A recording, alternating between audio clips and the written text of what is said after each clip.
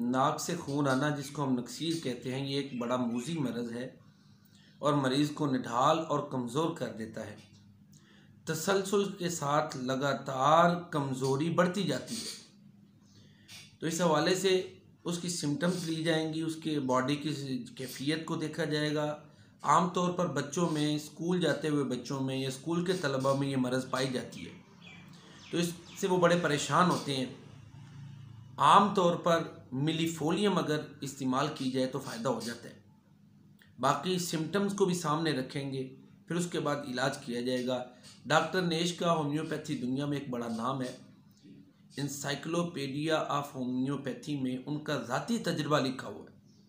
वो कहते हैं कि मैं छोटा सा था तो मुझे बड़ी नक्सीर फूटती थी, नक्सीर आती थी खान नाक से खून निकलता था।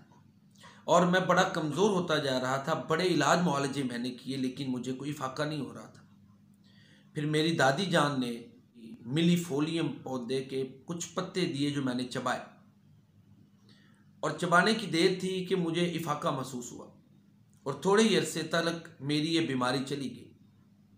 इसी तरह उन्होंने और बीमारियों में भी खून थूकना और इस तरह और दीगर बीमारियों में भी अपने तजर्बात जो है ना वो बयान किए। तो बहरहाल उनका ज़ाती तजर्बा ये है कि ये दवाई नक्सीर फूटने में मुफीद है तो इसको जहन में रखें।